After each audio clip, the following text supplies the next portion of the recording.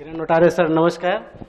जय श्री राम जय तुलसी राम मेरा नाम संतराम भारती है। मुझे चार वर्ष से डायबिटीज़ था। मैं 500 सौ का गोली पर डे खाता था। एक गोली की कीमत थी दस रुपये ऐसे दो गोलियाँ मैं पर डे खाता था।